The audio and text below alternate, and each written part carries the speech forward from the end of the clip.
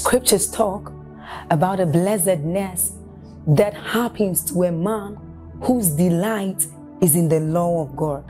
So, as 1 says, it says, But his delight is in the law of God, and doth he meditate day and night. He says that that man is like a tree planted by the rivers of water, whose leaves do not wither, and who bears fruit in every season. As you're about listening to this message, we believe that your life is going to be like that man planted by the rivers of water. Your leaves are forever going to bear. And we know that your, your season will not pass by. You will forever shine and you will forever bear fruit.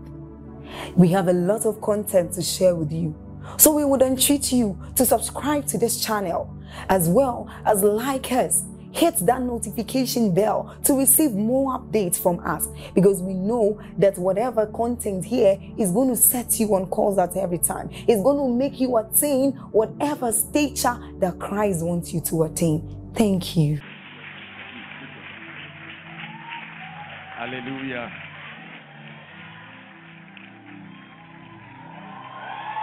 Praise the Lord. I'm truly honored to be here and um, thank you very much, Jesus House, for the invite and the love. I want to especially appreciate Pastor Gandhi and his dear wife. Let's give him a big, big hand clap. God bless you, sir. Truly honored.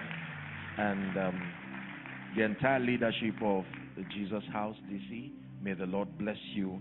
And I trust that our time together will be most profiting in Jesus' name. Shall we lift our hands to heaven and ask the Lord to speak to our hearts? The Bible declares the entrance of your word gives light and understanding unto the simple.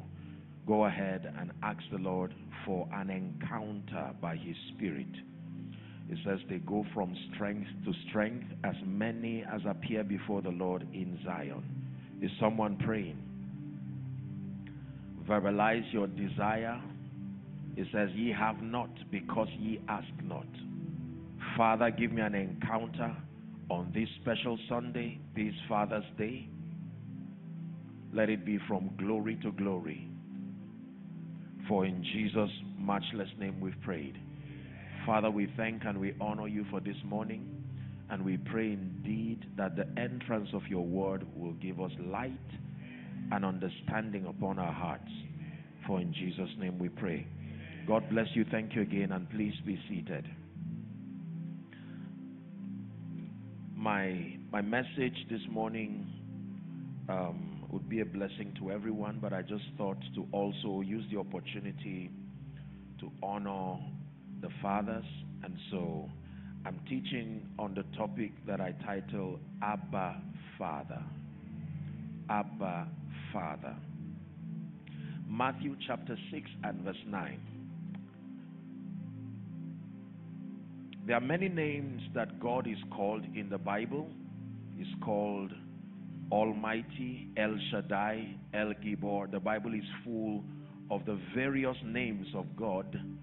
And when Jesus showed up, he was teaching what we call the Lord's Prayer. And he was giving them a pattern that would guide them whilst praying. And he said, In this manner, therefore, pray. And he said, Our Father. In other words, when you submit yourself to prayer, you must come with the consciousness that you are not just praying to God, but you are praying to Father. Hallelujah.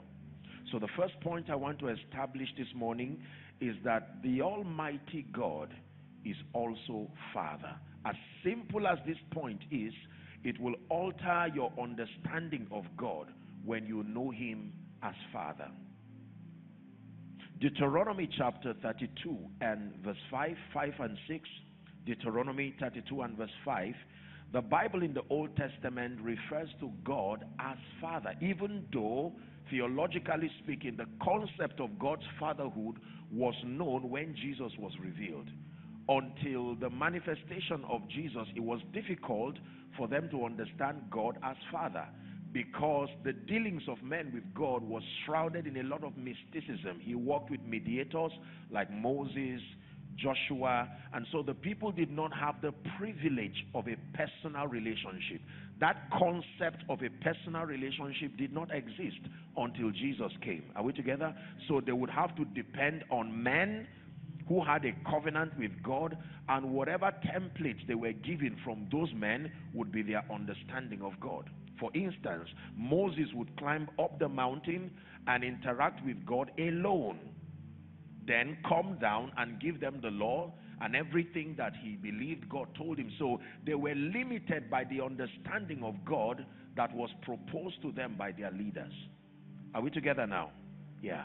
So, verse 6, let's look at it. Just a few scriptures to establish the fact that God is also called Father. Deuteronomy 32, 5 and 6.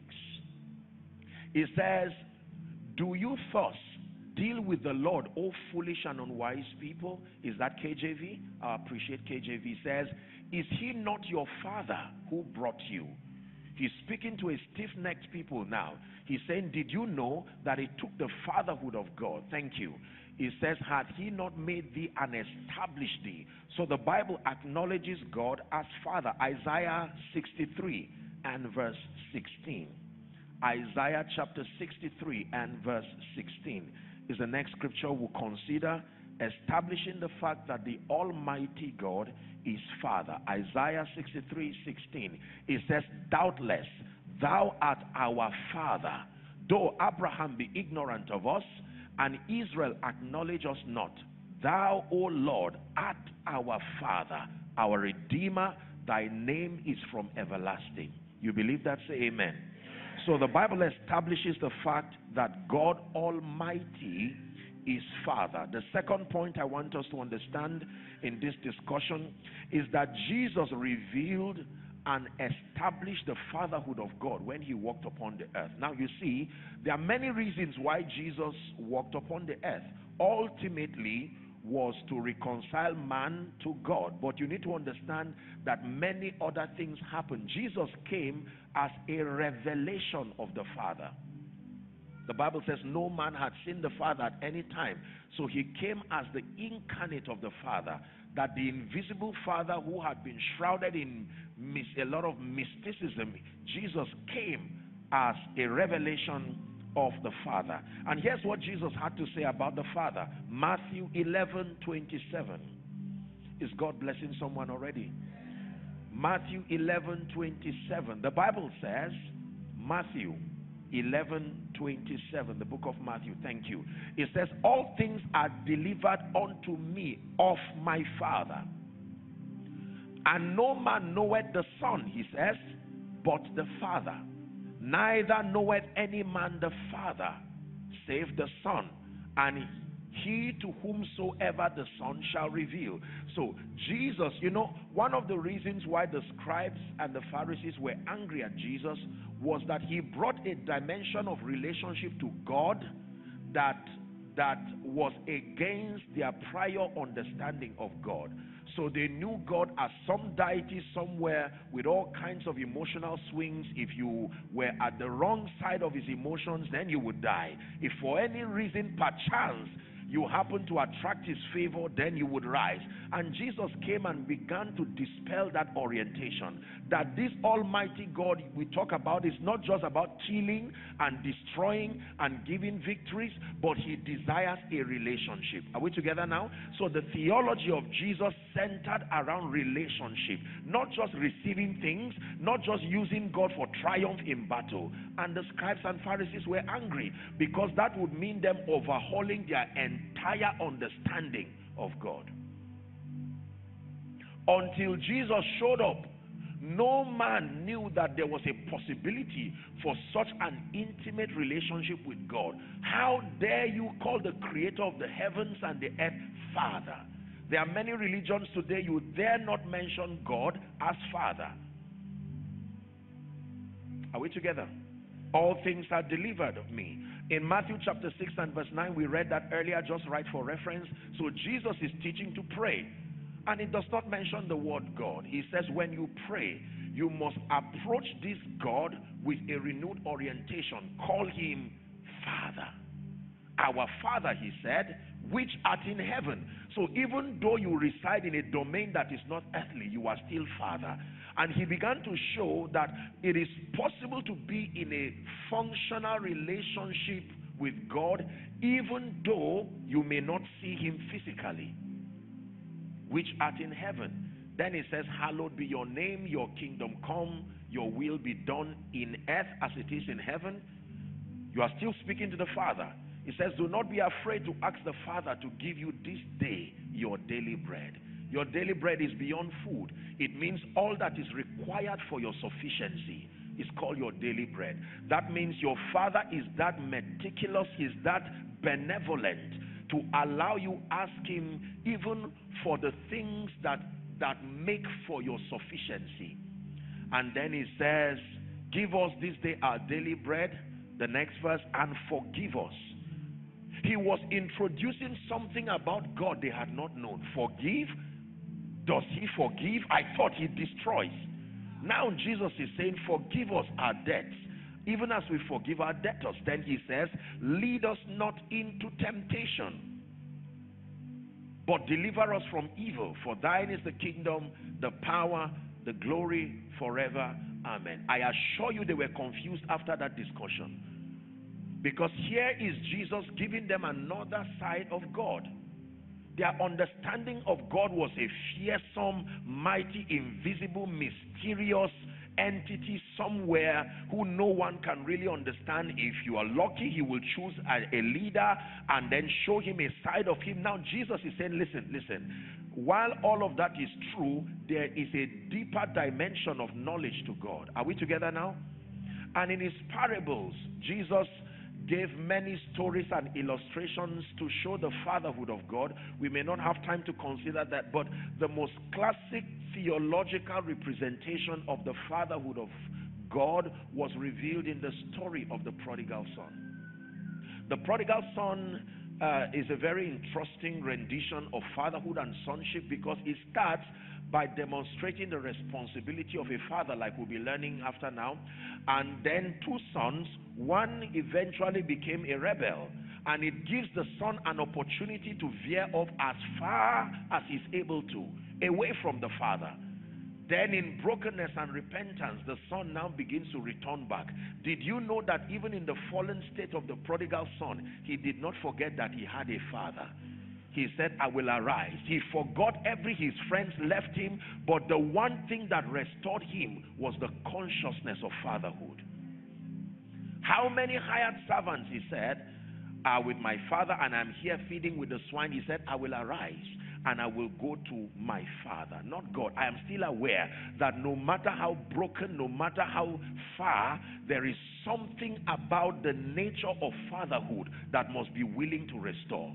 He was there introducing all of these dimensions of God. You're blessed already, say amen. Jesus himself in Acts chapter 1 and verse 4, Acts chapter 1 and verse 4, he left us, he said that tarry until you receive the promise of the Father. He calls it the promise of the Father, not just the promise of God the promise of the Father. One last scripture Ephesians chapter 3, please, 14 and 15. Do you love scriptures? Ephesians 3 14 and 15. It says, For this cause I bow my knees unto the Father of our Lord Jesus Christ, verse 15, of whom the whole family now, this is Apostle Paul mentoring the church in Ephesus, and he's reiterating what Jesus taught them. He said, Listen, when it has to do with prayer and the faith walk, you must have that orientation that you are dealing with a father who has a family, of whom the whole family in heaven and earth is named. Hallelujah. Now, the word father comes, it has the Aramaic expression Abba. The word Abba is, now you know theologically speaking, that the Old Testament was largely written in Hebrew, and then the New Testament was a combination of Greek and Aramaic. Are we together? Yeah, so the word father is the Aramaic um, Abba. The Greek is the word pater, P A T E R. Both of them refer to this. Please listen. To be called father means source, number one. Number two, sustainer. Number three, protector. Number four, provider.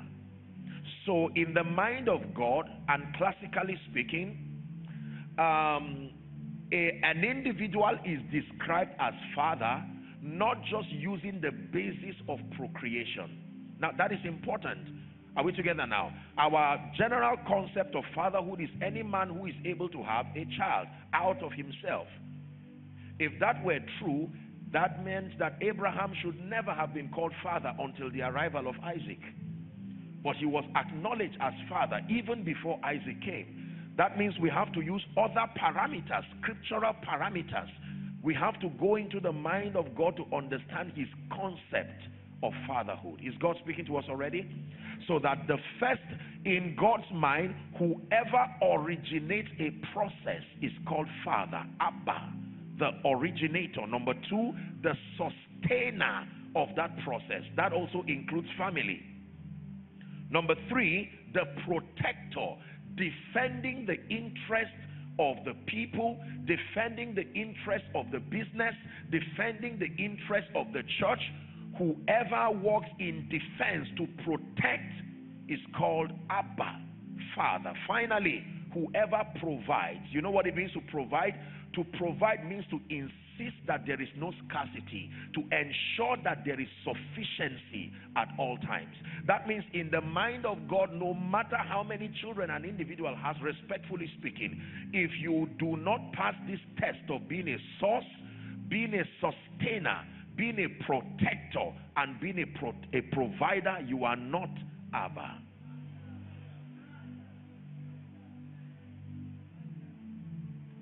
Is someone learning now? Yes. So when God calls himself Father, he gives you the opportunity to vet his fatherhood. Are we together now? He's not ashamed to say, You test it. If you call me Father, find me, find a place in Scripture where I am not source. Find a place in Scripture where I do not sustain. Find a place in Scripture where I do not protect find a place in scripture where I do not provide, then you can question my fatherhood. So every the the Bible is a compendium of the fatherhood of God. We see these attributes displayed once and again from generation to generation. The source, number 1, the sustainer, number 2, the protector, number 3, the provider, number 4. Are we together now? Now, classically speaking, the concept of fatherhood, and, and please understand what I'm saying, the concept of fatherhood is not a concept that is left to men like the male species. Are we together? The male species was carved out by God to embody this concept. But it is a concept that every responsible leader must understand. That concept of being Abba is not just left to men. Because you will find yourself in many occasions where an individual who is not the man would have to play this fatherly role. And for any, if you ever find yourself in that position of leadership, then you know that the mandate still remains Abba. So it is possible for a woman to still play that role to be a source, to be a sustainer. Are we together now? If you are the CEO of a company, for instance, with respect to that organization, you are Abba. And everything a father does must be captured in your leadership. So, fatherhood is really a leadership philosophy. It is not just an orientation that is left to the male gender. Are we together now? But God, in His wisdom, chose a male based on His arrangement of family. Are we together now? To exemplify and embody his fatherhood. If you believe this, say amen.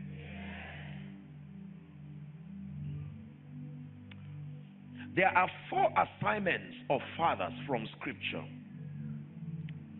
Let's deal with it structurally now. Four assignments. Is God helping us already? Four assignments. And this, with, with all due respect, is now to the men as well as everyone. Number one, the first assignment of a true father is provision. No matter what else you fail in as a father, you are not supposed to fail in this.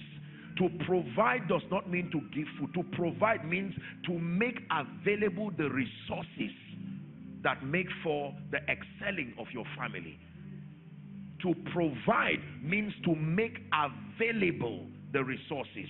In Matthew chapter 7 and verse 11, Jesus now is teaching when you read from verse 7, it says, Ask and you shall receive, seek and you will find. When we get to verse 11, Matthew 7 and verse 11, he said, If ye being evil, I like this, know how to give good gifts to your children. Watch this. Do you know what he's saying? He's saying intrinsically that the heart of man is desperately wicked and that even in that depraved nature of man, there is still the fatherhood instinct to see your family prosper that even a wicked man has conscience enough to know that his children should eat.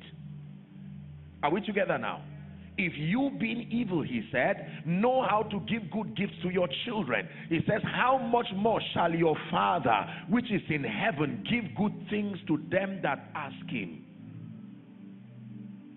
Father, provider, provider, provider.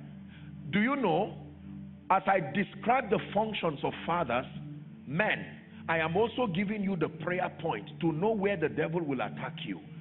Because Satan's attack will be to stop you from playing this role. So if we say the first role of a man is provider, that means he will come around your finances.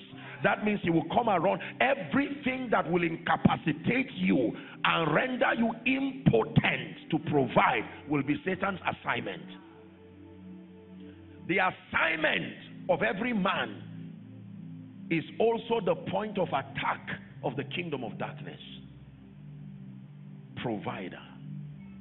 Provider. Provider.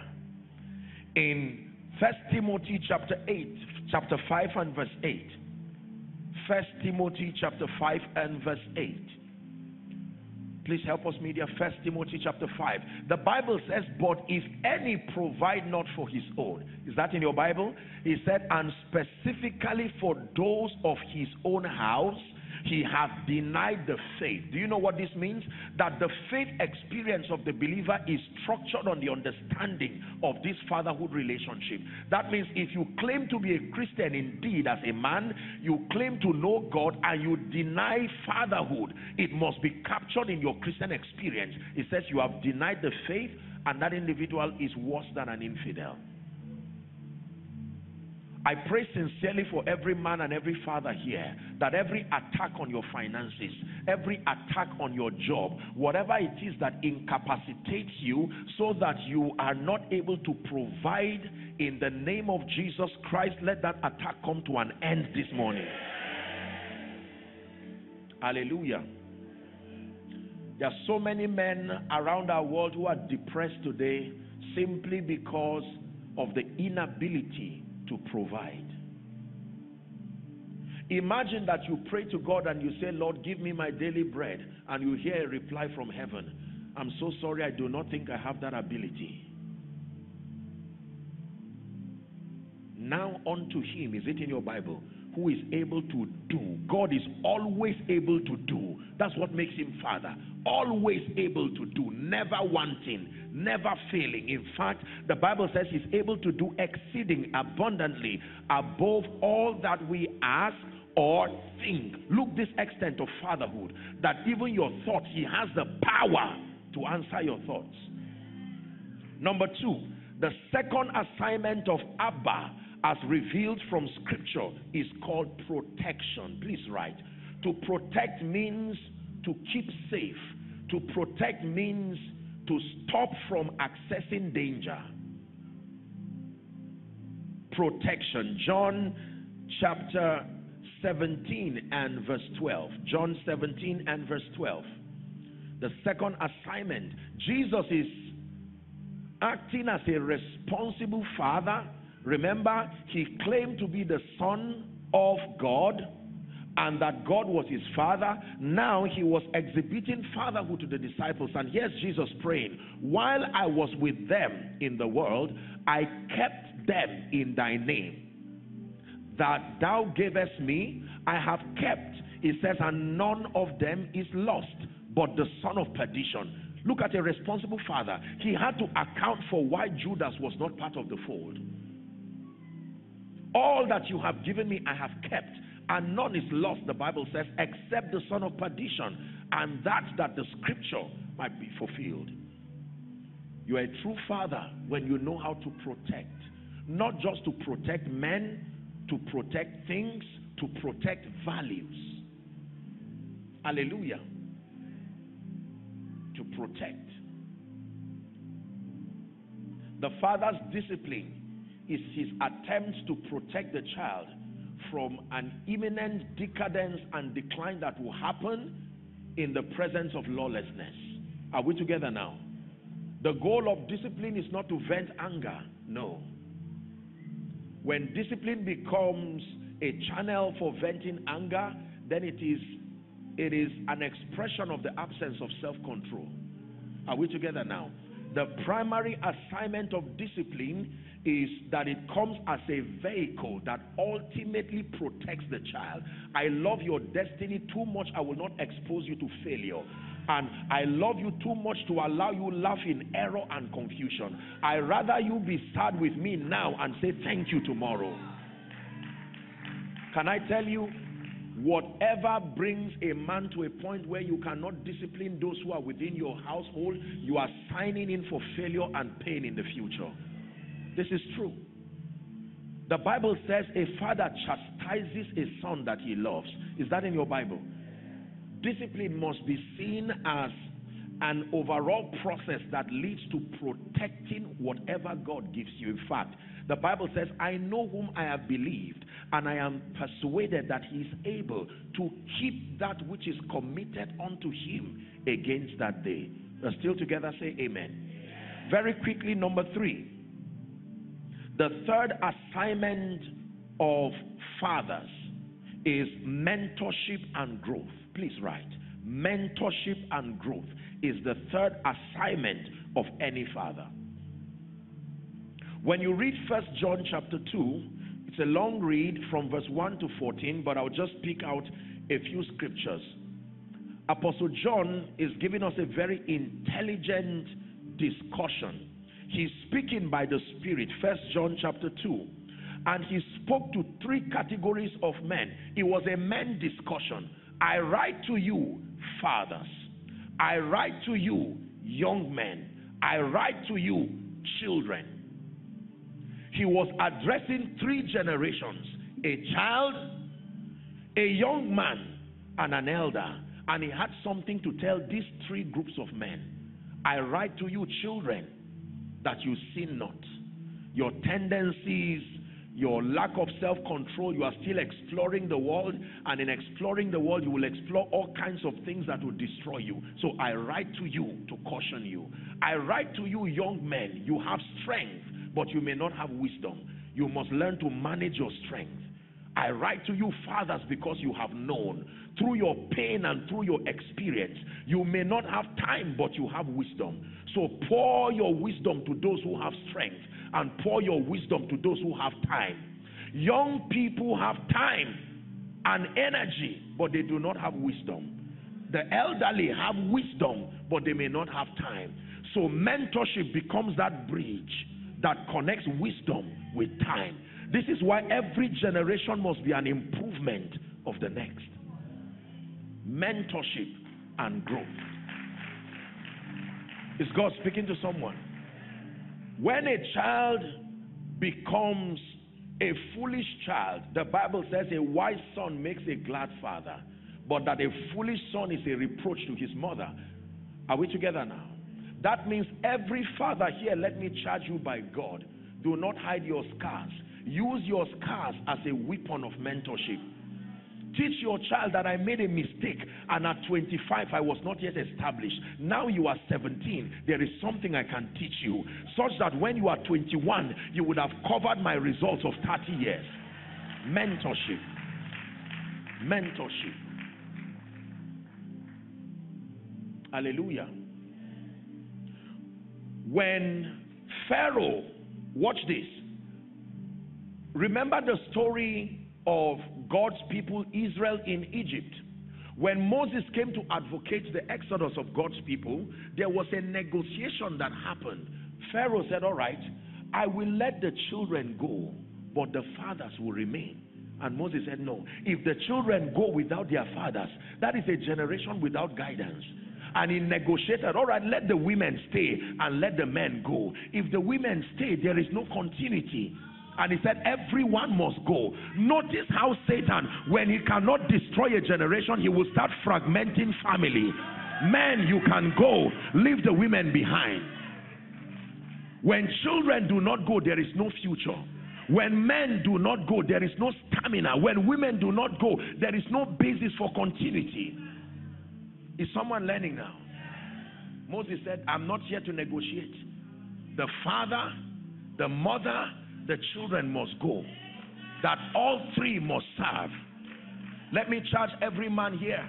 Do not, respectfully speaking, the school system is only supposed to be a support system to the training of your children.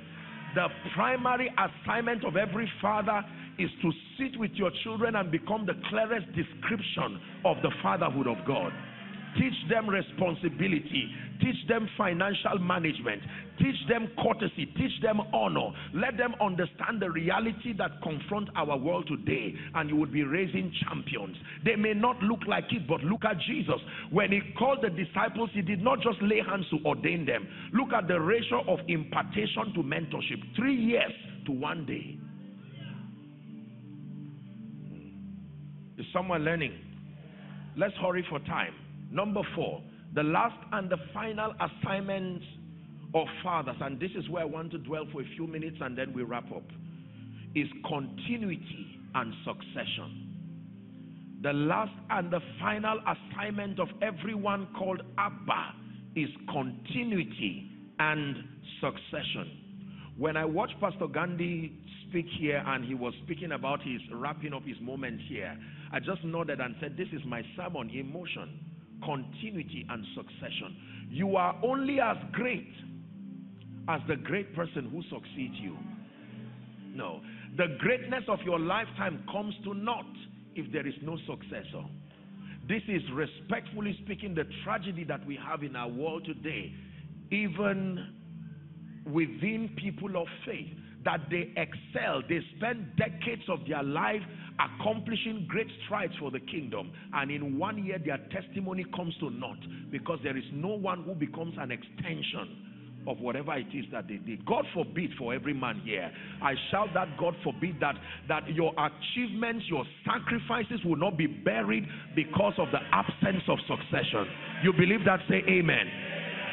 Now you know why Satan is attempting to attack your child. He picks out the one with the potential to be a great leader. Did it not happen between Cain and Abel? The very first family, Satan attacked succession immediately. Because until Adam and Eve, Satan had never known that continuity can happen through reproduction. It was only through creation it was Adam and Eve that were the first human species to show the possibility of continuity. And Satan said, This is dangerous. That means there can be many, many people coming through the womb of a woman that will serve Jesus. And there was an attack on Cain, and he made Cain kill Abel. The goal was that whatever it is, let it stop and not continue. It is why when we find people who are barren, we pray and say in Jesus' name be healed. It's more than a miracle. It is the devil trying to stop the possibility of continuity. He is fighting that be fruitful mandate. Continuity and succession. Proverbs chapter 13 and verse 22. I would want you to please listen I'm preaching something that I intend to preach a few weeks after now also. I have the honor of preaching for the Full Gospel Businessmen's Fellowship. Their global conference is happening in Africa. And this is one of the things that I hope I'll be able to share with the men. Um, I've been very inspired by that organization. And when God granted me the grace, I, I told them, I said, I'll come. I, I think I have some things that I want to share. That I have seen many people build great conglomerate empires, and at the end of their life, they sit empty and angry and frustrated. The problem is not a financial problem, the problem is continuity. Was this not the frustration of Abraham? a great man who had everything and he said, Lord, what will you give me seeing that I go childless? Let's talk about this issue of succession. And he said, Don't worry, it is not Eliezer. I am going to give you a child that comes from you. And Isaac to Abraham was greater than his wealth, his achievement, and everything. That was where God said in Genesis 22, don't turn there just for your knowledge. He said, Abraham, Take thy son, thy only son, whom thou lovest. Since he represents everything, go and kill him. Let me see how much you love me. And the Bible says Abraham arose early and carried Isaac. So today we claim the blessings of Abraham, but we must take the responsibility of Abraham. Back to our discussion. Proverbs 13 22. Proverbs 13 22 is is the Lord provoking someone? If you can see it projected, let's read together. One to read. A good man leaveth an inheritance to his children's children, and the wealth of the sinner is laid up for the righteous. Most times, our attention quickly goes to the B part, but I want to talk about the A part. The Bible says, a good man. That means among the many things that make a man good is his ability to have a proper system of succession. Can I wrap up my teaching by teaching you something about inheritance? The Lord opened my eyes to a very powerful revelation of inheritance. To inherit means to receive by succession. To inherit means to receive by succession or by will as an heir. Hallelujah. To inherit means to receive by succession. So the Bible says a good man leaves an inheritance for his children's children. And the Lord led me through a series of dealings, and I came up with five things that every man here, respectfully speaking, at the end of your life, if you can leave these five things for those who have come out of you, you would have been a good man indeed. Can I run through the list as we wrap up? Let me request that you write it first in your heart and then on your paper. Number one, the first and the greatest inheritance that every man can give his son, that every leader, remember I told you fatherhood is not just left to men, the male gender alone. So this applies to everyone. Are we together? The first and the greatest inheritance you can give your son or those who come out of you. Are you ready? your convictions. Write it down. It's amazing that most people, when we talk about inheritance, we're just thinking of land and estates and what is in the bank. And unfortunately, I hope that God steps in. There is a lawless generation that anticipate in a hurry the departure of their parents in hope that they will stumble into prepared blessings. Now, I'm not being sarcastic, it's with all due apology. But it is important that we must understand that as sons and daughters, if the only thing you get from your father is money, you failed. It's true. Hmm. Your convictions, a summation of your beliefs and your philosophies, because you know, like I do, that your life is a resultant effect of your philosophies a summation of your understanding about God, about life, about failure, about victory. The first inheritance that must be transferred from any man who is called a good man to his children are his convictions. Jesus was speaking about Abraham that I know. Genesis 18, you find that he says, I know, verse 17 and 19, I know that Abraham will teach his household. Shall I hide from Abraham the thing which I will do? Verse 18. it says, Seeing that Abraham shall surely become a great and mighty nation, and all the nations of the earth shall be blessed of him. 19. It says, For I know him. This is God testifying about a man that he will command his children and his household after him. What will be the command? That they shall keep the way of the Lord, to do justice and judgment, that the Lord might bring upon them uh, upon Abraham that which he had spoken. In other words, he's saying, teach your children whatever made our relationship functional, transfer that conviction to your children. Number two, the second inheritance that every man must leave with his children is your name. Hmm. Your name. Your name is a capture of your track record, your credibility, your impact your value, your contribution. Let me take it again. Your name is summation of your credibility. Credibility can be transferred. Your track record can be transferred. Your impact can be transferred. Respectfully speaking, it is at this point that I continue to charge our great families, especially in Africa, because um, we're yet to understand the power and the value of succession in Africa, you see. I think that many have done a good job here in the West because you will find families and dynasties that are decades years old and they are still being run. There are values, they preserve the name. But, you know, in many, many of the places in Africa, you find out that there's just one generation of everything. It starts and dies with that generation. The man is successful at 20, by 50, he's back to where he was. And then he goes.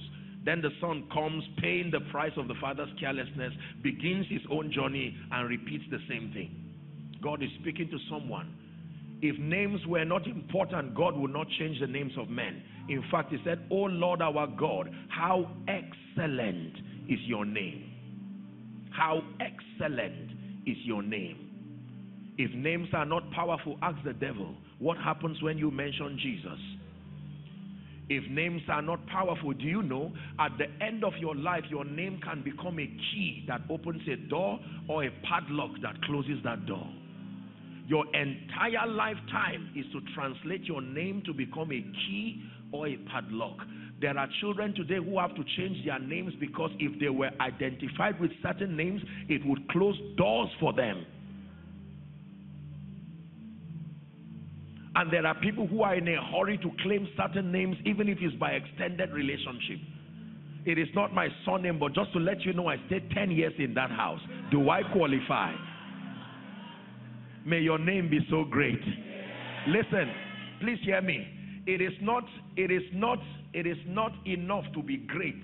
Your name too must be great. I hope you know you can be great and your name is not great. Genesis chapter 12, in blessing Abraham, he said, I will bless you and make your name great. What then is the difference? He already said, I will bless you.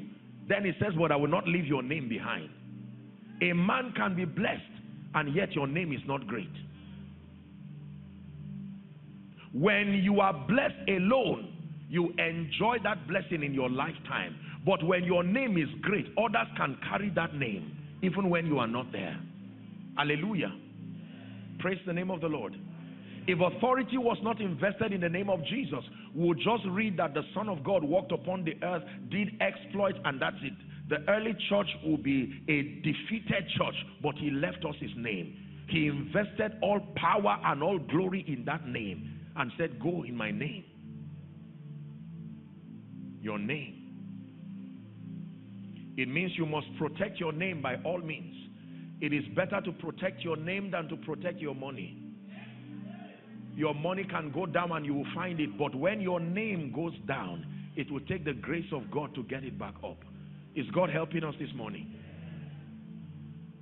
Number three, the third thing you must transfer every father and every leader to your children are your relationships and connections. Relationships and connections are transferable your networks, relationships, and connections. John 19, John 19, verse 26 and 27. John 19, very quickly, and then I wrap up. John 19, 26 and 27. When Jesus therefore saw his mother and the disciples standing by, whom he loved, he said, Watch this. Watch Jesus transfer relationships. This is Jesus on the cross. And John is standing there, and the mother is standing there. And here's what John says Woman, behold thy son. Verse 27. And he said to the disciple, John, today this is now your mother. The Bible says, and from that hour, that disciple took her to his own home. Now, um, in Nigeria, where I come from, the northern part of Nigeria, um, most of the people, especially the Muslim community, they understand this principle powerfully. They transfer relationships.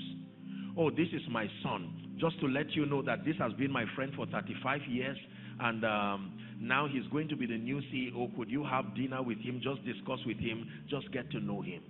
You can transfer relationships. Relationships are a leverage. You may have heard me say it in my teachings that all blessings come from God through men to men.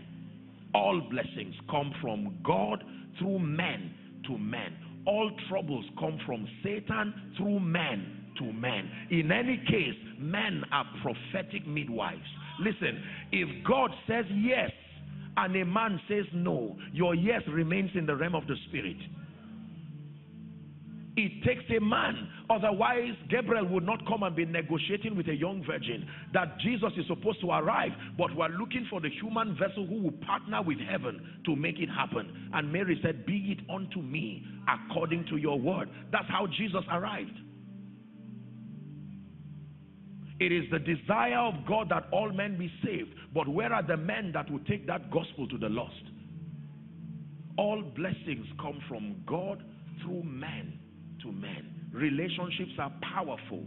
You must invest strategically and structurally in relationships. And there's no time to teach on relationships here. I would have taught you that there are four kinds of people that if you do not have in your life, you are in trouble. Number one, divine connectors. Number two, men of influence. Number three, gifted men. Number four, burden bearers. So every time you pray that God connects you to men, these are the kinds of men you should pray for. Your relationships. Every father must transfer your relationships strategically so. Number four, what is the fourth thing that a father can transfer to your children? Your physical assets, cash, properties, businesses. Can you see that what we have known to be inheritance is only number four? And that's so in order of priority. Your convictions, your name, hallelujah, your relationships and connections, now your physical assets.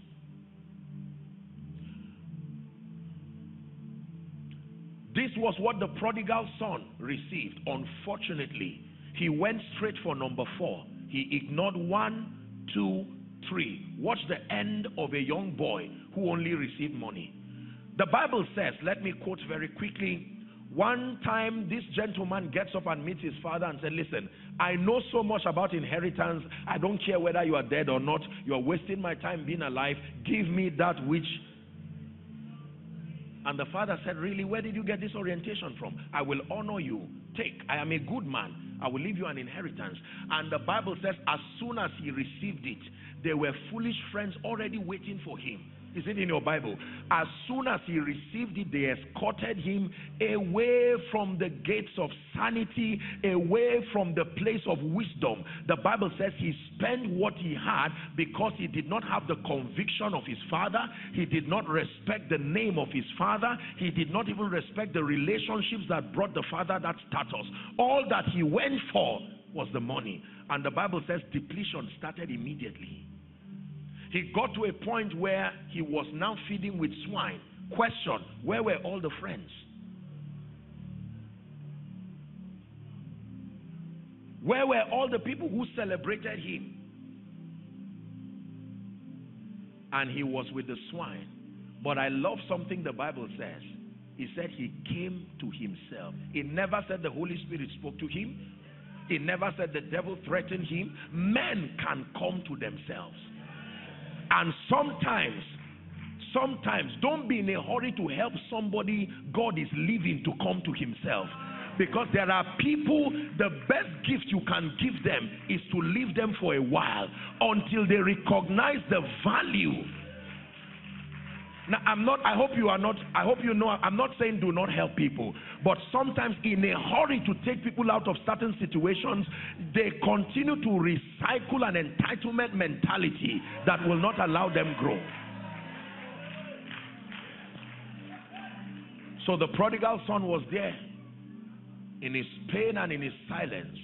And he began to calculate a million dollars, five hundred thousand dollars a hundred thousand dollars then a few friends left. Ten thousand dollars then a few more left. One dollar. Now i'm in debt and i'm left with pigs he came to himself. The bible says in proverbs 18 and verse 1 through desire a man having separated himself the bible says he seeketh and intermeddleth with all wisdom. There is something about silence when you, a gentleman can remain and say, look, being in this debt year after year, I'm tired. There has to be a way out. And I'm telling you, you can get up from that place of determination and end certain cycles in your life. That's what happened to the prodigal son. He didn't have the power to change himself, but he had the power to decide to change. And here's what he said How many hired servants has my father? And I am here feeding with the swine. He said, You know what? I've lost everything, but I still know that I have a father. I will arise. Here is the young man speaking to himself, and I will go to my father, and I will say, Father, I have sinned against you. We call that responsibility. I have sinned against you and against heaven. I am not worthy to be called your son. He says, Take me as one of your servants. Now I cherish your convictions. I cherish your name. I know the power of being connected to you. I will not push you away for money again. I've, I've seen, I've seen the, the, the transcend nature of money without a relationship. I'm willing to be a servant. It's not about the money, it's about you. Notice, the moment he took a step, the father too took a step. He never met the father at home. He met him somewhere in the middle of his responsibility steps. The father never met him in the rut. As soon as he said, I will go, the father left home and said, There's something about me. Even though my son is a stubborn son, he's still my son. Even though my son is, is, is that not what happened between us and Jesus, us and God? The Bible says, while we were yet sinners, God was already putting together a plan. However, that life that he brought is not imparted till, like the prodigal son, you take that responsibility and take a step forward. And so the gentleman takes a step. And watch this. As soon as he met the father, the father never discussed anything about his destruction. In other words, the responsibility you have gotten is enough. The message I would have told you, you already got it by coming to yourself. The Bible says he hugged him, kissed him, embraced him, put back the signet ring, and put a robe and brought him home and said, Listen, we have to celebrate. But there was another kind of son as I wrap up. I hope you know that both of them did the same thing. The, the first person did it in his heart, the other person executed it. It is not the story of one responsible son versus one lawless one. It is a story of two sons who were on their way to destruction. One only had the courage to take the first step. You will learn at the later part of the story because the Bible says when a celebration was going on, the elder brother came and said, What is going on here? And they said, Remember that your brother? He's back home. And so we're throwing a celebration and he was offended. The Bible says he went out and he left, and a responsible father followed after him and said, What is wrong? He said, I am here and I've served you all the days of my life, and you've not even given me, in other words, I, you've given me convictions, you are giving me relationship, but it's money I'm looking for. About to make the mistake of his younger brother. This gentleman who left you and went to spend his life with harlots and all of that, he returns back and you receive him and you're celebrating him. and then I've been here and all you give me is an advice every day. Be a responsible person. Come, let me lay my hands on you. In the name of Jesus, you are great. Is that all you are going to give me? And the father said something. Verse 29. Watch this. We're wrapping up. This is a message for someone. Next verse. And he answering him said to his father, Lo, these many years do I serve you, neither transgress I at any time, yet you never gave me a kid that I may make merry with my friends. Verse 30, it says, But as soon as this your son, which had devoured his living with harlots, had and you have killed a fatted calf for him. I like the father's reply. Watch this. Next verse, please. And he said unto him, Son, you are ever with me here. You do not know that our relationship is an inheritance. This gentleman lost something precious. He said, All that I have. Question What is the all? That means the money he gave the son was not all that he had. He gave the son money, and the son believed that he got everything from the father. But he said, There are other things this boy did not carry, but you have to. Hmm. When Abraham, Abraham had a total of about eight children. Ishmael, Isaac, and others that came. When it was time to bless his children, your Bible says that he called the children of all the concubines and he gave them gifts. But to Isaac, he gave everything he had. There was no mention of any physical thing given to Isaac. After he gave the boys gift, they went away and he said, Isaac, come, kneel down. Let me give you everything I have. There will be nothing in your pocket when I'm done, but you would have gotten everything. That blessing that came upon me, that leads me to the fifth inheritance that every man must give his son the anointing and the mantle that made you you must be transferred to your children. Behind every great result, there are graces, there are anointings, there are mantles. Please write it down. You find this story in Genesis 25 from verse 1 to 11. We'll not read it for time. Hallelujah. So he gave all the other children things and they were happy maybe fighting with one another. Mine and yours, which is bigger? And I, I can imagine Isaac standing and say, So what, where, where is mine? No car, no house. What are you going to give me? And he says, Come, let me place something upon your life. Because you see, the law is, Thou anointest my head with oil, but he says, My cup runneth over. He does not anoint the cup, he anoints your head. That means your cup is a report card. It tells us what is on your head. If your cup is empty, don't blame the job. Don't blame the business. The business is only a physical expression. Thou anointest my head with oil. As a result of that anointing in Genesis 26 from verse 12, the Bible tells us that there was famine in a land. Is that in your Bible? where every physical thing they had was going down.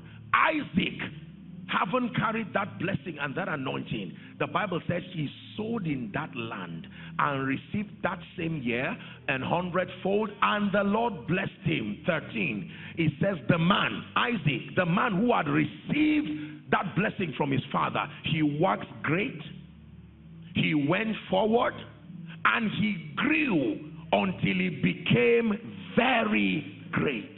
14. For he had possessions, goodness.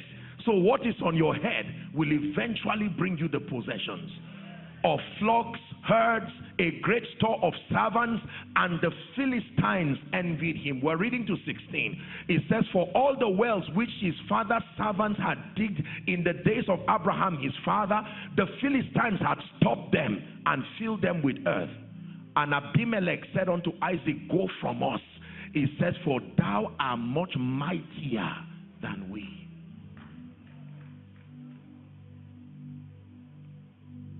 What are the keys to receiving an inheritance from a father?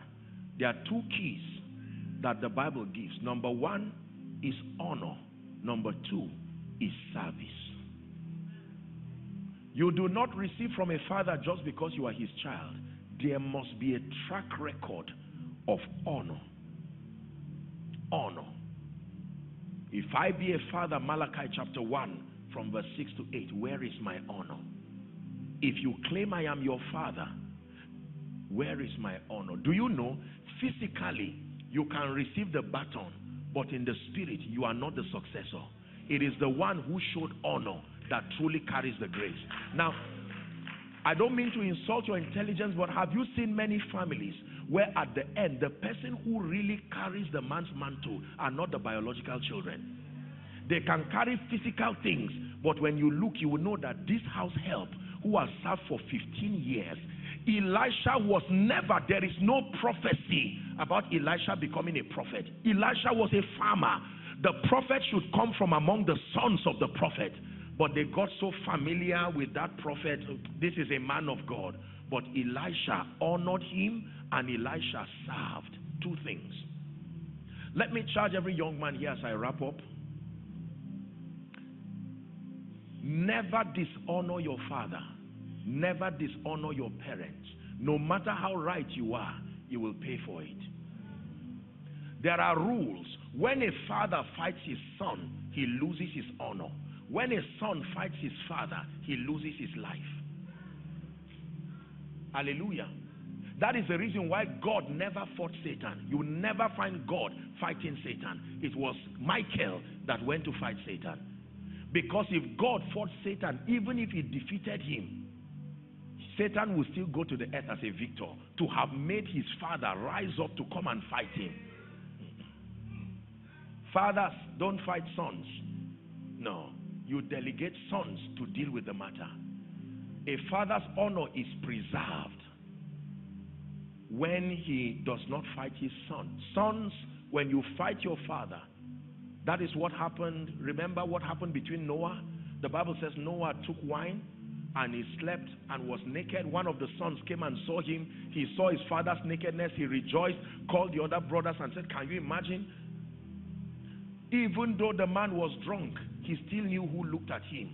When he got up from that state, he said, Who did this? He was not told.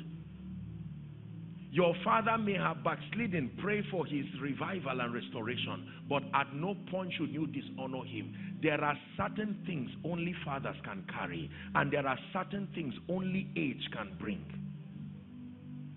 In their fallen state, they will look at you and bless you. I am a product of many, many blessings. Many, many blessings. You may have heard my story. One time, I went to buy something and I met two women and I decided to honor them. Two women, very unassuming women, and I decided to honor them. I said, please don't pay for it. Let me pay. It was not, it was not anything, not even up to, I, am not sure it was up to a dollar. And the women began to bless me. And one of the women looked at me and said, my son, forever walk upon gold. I'm wrapping up now. Years ago, I went to preach for those of us who are Nigerians in Afe Babalola University many years ago. And I went to preach there and I stopped and I was, I, I think I flew to one of the, the states and then to go by road getting there. And I passed a very small and strange village where people lived mysteriously long. I saw obituaries of 100 and something, 100 and something. I said, What in the world is this? What kind of grace is this? And when I was done ministering, on my way back to the airport, I said, Stop. I saw a notice 136 years. The man just died. I said, Stop. Now, I'm not a Yoruba person, but I said, Look for someone for us. Let me find the oldest man in this village. I want to sow into his life and have him speak over my life. Because I'm going to be traveling to the nations. No plane will kill me. No, no, whatever it is. But listen, just shouting amen alone is not the key. I understand the blessings that come from fathers. And when we got there, we found a man who could speak limited English. I'm wrapping up now. And then he took us to a man. We entered the room and we met a man, and then they interpreted. I would speak and they will interpret. These are young men who just came wanting to receive the blessing, and the man laughed. You see, but those who carry this thing know they have it. Believe me, you provoke it to honor. And the man said, Kneel down. Now you're a man of God or kneel down. I want to release it upon you. And he began to pray and to bless me, to rain those blessings. I felt like a crown was being put on my head while he was speaking. Literally. When he was done, we sowed into his life, we blessed him.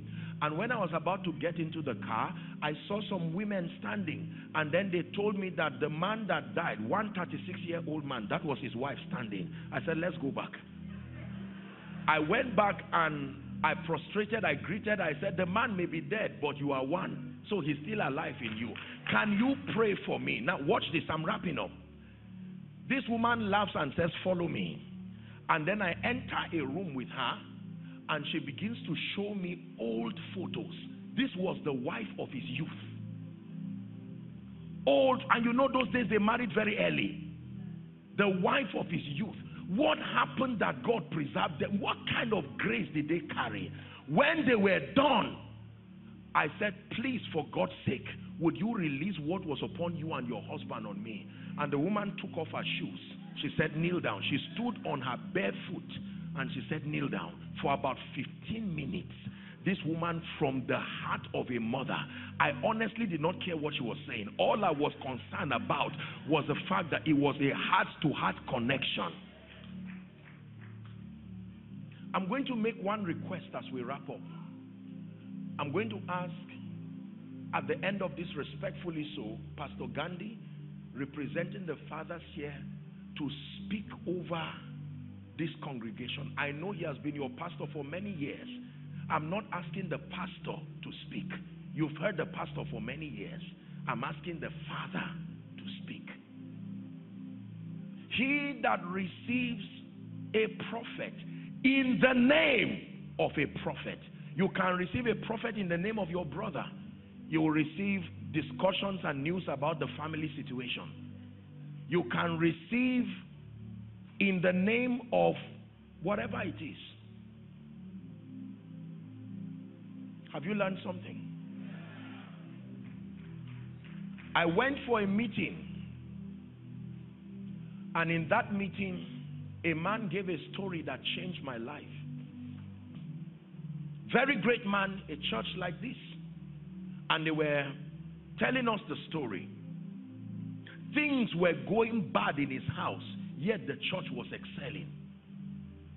The church was doing well, whereas his family was not doing well. One time, just like our mother here, a sermon is going on, and you can imagine she just got up and walked out of the church.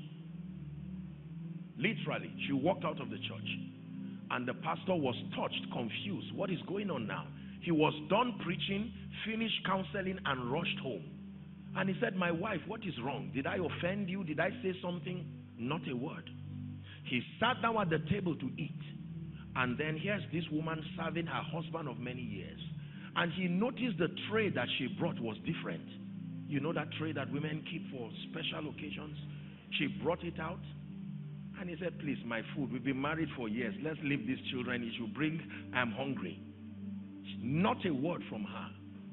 Set the table with honor, with respect, with regard. And then she brought the last item on the table and she got down on her knees and she said, God's servant, my family is in trouble.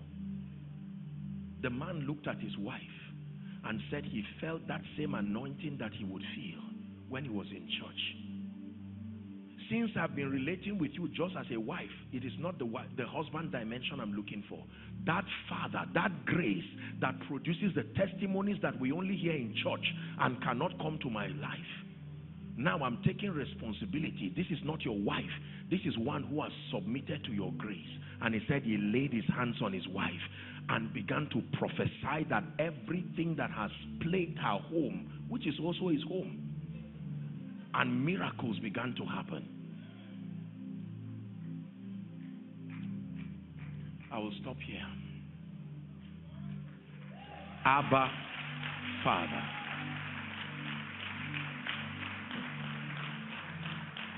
Hallelujah.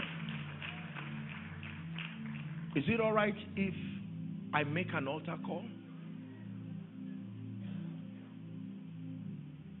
Thank you. Hallelujah. What is an altar call? It's not a call to come forward. No. It is not a call to recite a poem that is referenced from scripture. An altar call is a declaration of your inability to help yourself. It is proof of humility. It's an acknowledgement of the governing authority of Jesus. In this place right now, I believe there are men and women. Some of you may have come for this conference. Some of you following uh, by way of television and internet. And the Holy Spirit is speaking to you. The greatest of all fathers is called the Father of Spirits is desiring a relationship. And for many, you may be like the prodigal son. You're saying, apostles, good listening to you. But now, whilst hearing you speak, the Holy Ghost began to convict me that this faith life is not just about burdensome rituals. God desires a functional relationship between a father and a son, a father and his child. And this may be your moment to truly make it right with Jesus.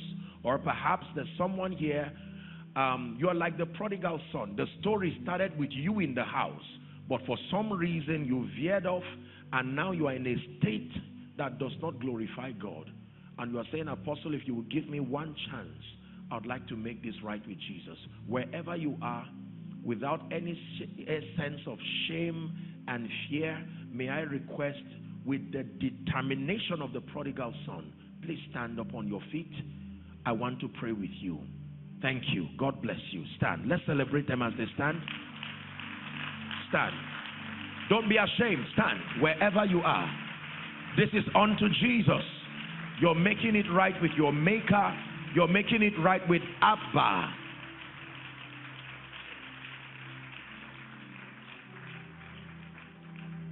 Hallelujah. My beloved is the most beautiful among thousands and thousands. My beloved is the most beautiful among thousands and thousands. Yeshua.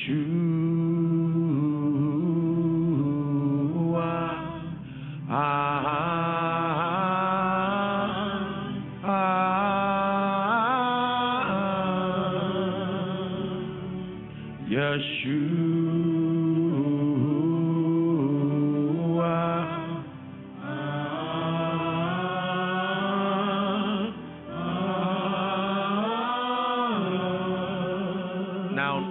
all of you who are standing, I salute your courage. Thank you for making this bold decision for Jesus. I'm going to lead you to pray a prayer, and that includes those who are watching by way of television, or perhaps you are even watching a rebroadcast of this program. It is never too late to make it right with Jesus. For all who are standing, please say after me loud and clear, say, Lord Jesus. One more time, say, Lord Jesus, I love you with all my heart. I believe that you are the Son of God. I believe that you died for my sin. Right now, I receive Jesus into my heart as my Savior, my Lord, and my King. I declare that the power of sin, Satan, hell, and the grave is broken over my life. From today, I am a child of God. Amen. Let me pray for you. Father, thank you for these precious ones. Your word declares that as many who will come to you, you will in no wise cast away. In the name of Jesus, by the authority of Scripture, I declare their sins forgiven and I call them bona fide recipients of the life of God. In the name of Jesus, we declare that you are the righteousness of God in Christ Jesus and that from hence you go from glory to glory and grace to grace. For in Jesus' matchless name we have prayed. Okay, so here's what I want you to do for me. All of you, please keep standing. Please keep standing just for a moment. All of you who made this decision, there are counselors who are handing a card. Are they leaving now? Okay, so let me request for one moment. Please pick your bags, your Bibles, whatever you came to church with, and may I please request that you just follow the counselors. They will have a word with you, or perhaps can we allow so that once we're done speaking, they can go? Will that be fine? At my request. Okay, so that um, because I want us to pray now for one minute. My apologies if I've stretched your time. I just want you to receive something that you will return back with a testimony. Hallelujah. Is it all right if we rise and pray for one minute? Please stand up on your feet. One prayer point and we'll speak and I'll respectfully invite the man of God to come and make declarations from the bowels of his spirit to rest upon your life and reprogram new possibilities. Let me request that you get this teaching. Parents, give your children, young people, listen to it and ensure that everyone gets a hold of this teaching. It may be deliverance to someone. Hallelujah. One prayer point. Father, my heart is open to receive of your fatherhood. Go ahead and pray. You are the Father Abba, you do not fail. You are a giver. You are a protector. You are a defender. In the name of Jesus, I decree and declare, let your fatherhood speak in my life. If someone praying, let your fatherhood speak. Let your fatherhood speak. Let your fatherhood speak. In the name of Jesus, let your fatherhood speak over my finances, over that situation that takes away my joy and my peace. Someone call on to Abba. Jesus said, When we pray, you pray first. Our Father.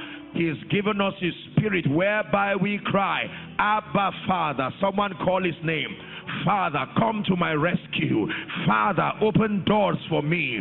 In the name of Jesus, let the tulip gates of the United States be open for me. Father, come through for me concerning this financial situation, concerning this marital situation, concerning this situation as regards my children, my job. Go ahead and pray. If you, being evil, know how to give good gifts, how much more? Hallelujah. While you are praying, may I respectfully invite Pastor Gandhi to just come and speak the blessing upon your life. Please keep praying, everybody. Let this atmosphere be charged as you pray in the Spirit. You're about to receive the blessing of a father. You're about to receive the blessing of a father. Is someone praying?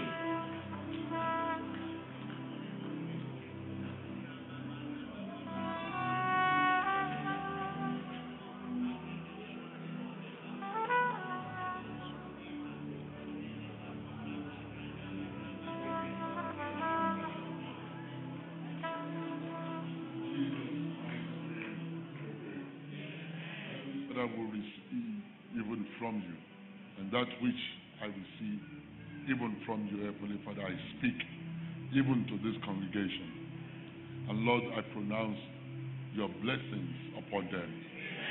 We declare upon every father that is here, Heavenly Father, the ability to be a protector, ability to be a provider. Lord, we say that the ability to be a source, even to their family, we release it, Heavenly Father, upon them in the mighty name of our Lord Jesus Christ. Lord, we speak to every woman that is here. Heavenly Father, to those who are married, we pray in the name of our Lord Jesus Christ. And I release the blessing of being a home builder even upon their lives in the mighty name of our Lord Jesus Christ. For everyone who is married here, Lord, we, we release the blessing of fruitfulness even for them who are believing in you for a child. In the mighty name of our Lord Jesus Christ. Lord, we release the blessings of the Lord. Even today, upon every single lady who desires to be married, the ability, the ability to be found, Heavenly Father, Lord, let that grace rest upon them in the mighty name of our Lord Jesus Christ. To the young men who believe that they need, they want to get married, we release the ability for them to find that which is theirs, Heavenly Father, and that will give them joy in the mighty name of our Lord Jesus Christ. My Father, my God, we pray concerning those who are students who are in this place. We release upon them the ability to understand that which they are being taught, even upon them in the mighty name of our Lord Jesus Christ. Ability to have retentive memory. Let it rest mightily upon them in the mighty name of our Lord Jesus Christ. My Father, my God, will declare upon everyone who is here, Lord, who is not yet saved, who has heard this message. We pray, Heavenly Father, that your spirit will continue to nudge them, Heavenly Father. And Lord, they will never leave this world without finding and Lord, not only finding you, but receiving you as their Lord and their Savior. Upon this congregation, you know that which I have said unto you. Lord, we pronounce that the blessings of God will rest upon them. Wherever they go, in the mighty name of our Lord Jesus Christ, we declare upon this congregation, my Father and my God, that they will find a, love, a life of fulfillment, a life of joy, a life of peace, in the mighty name of our Lord Jesus Christ. That wherever they go, Heavenly Father, they will be fruitful in all that they do in the mighty name of our Lord Jesus Christ. Please let's stretch our hands forward, my Father, my God, as they have stretched their hand forward. Lord, give unto them that which is their desire, that is according to your will. Lord, they stretch out their hands in faith. My Father, my God, they will receive even from you in the mighty name of our Lord Jesus. So your name alone be all of glory because you are the Father of Father. Thank you, Heavenly Father, for your word today. Let this word find a place in our lives in the mighty name of our Lord Jesus Christ. Thank you, Heavenly Father. And Lord, we declare God's grace upon you. In Jesus' mighty name we pray. Amen. Hallelujah. Praise the name of the Lord. Praise the name of the Lord. In the same vein, can I speak over your life? I decree and declare standing upon the grace of the fathers in this place and the grace of our Father in the Lord that did you in the name of Jesus. I speak over everyone here that every door that has remained closed over your life that should be opened. Right now, we declare that door open now. Every shame and every reproach that has come upon anyone and any family I stand by the God of Jeshurun, the one who rides upon the wings of the wind. In the name of Jesus, let reproach be turned to honor.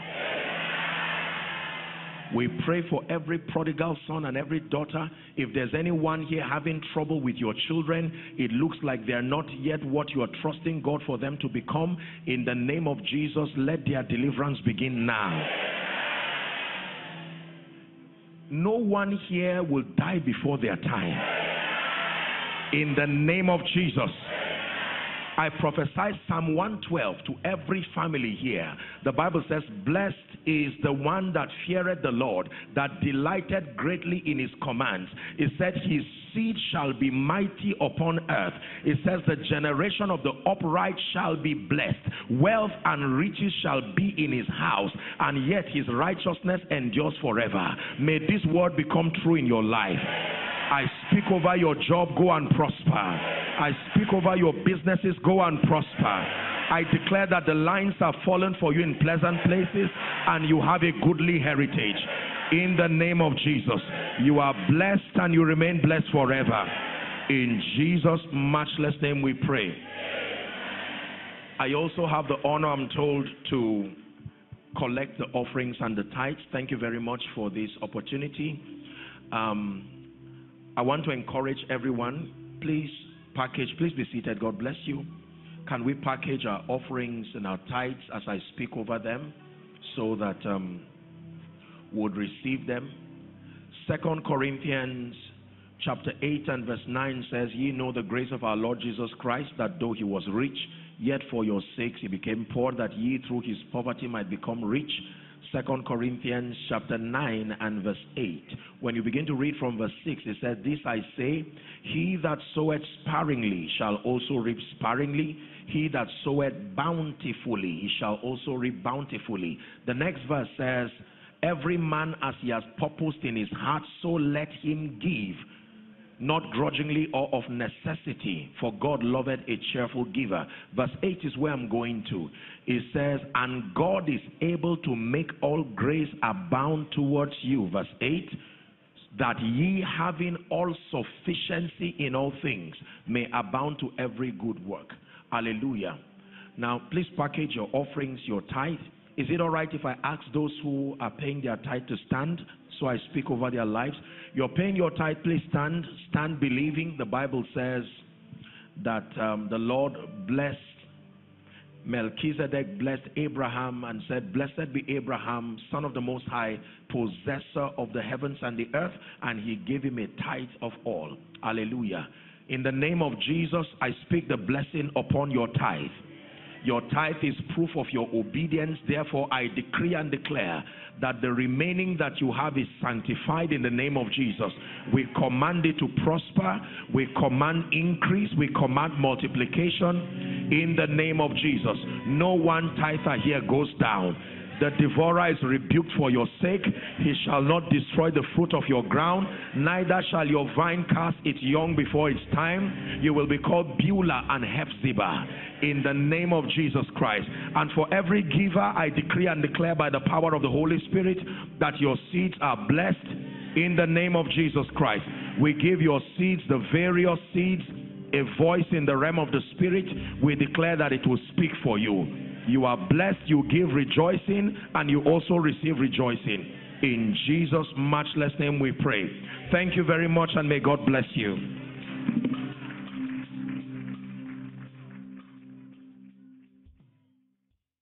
Hello. Scriptures exhort us from the book of Proverbs. It says, My son, attend to my sayings, incline thy ears to my words. Let them not depart from thy eyes, and keep them in the midst of thee. As you have listened to this message, we believe that you are going to reap the blessings thereof if you attend to these words as well that you will keep these words in the midst of your heart. That no matter the circumstance, your eyes are going to be fixed on these words. And as you have been blessed, we will tell you to share this message.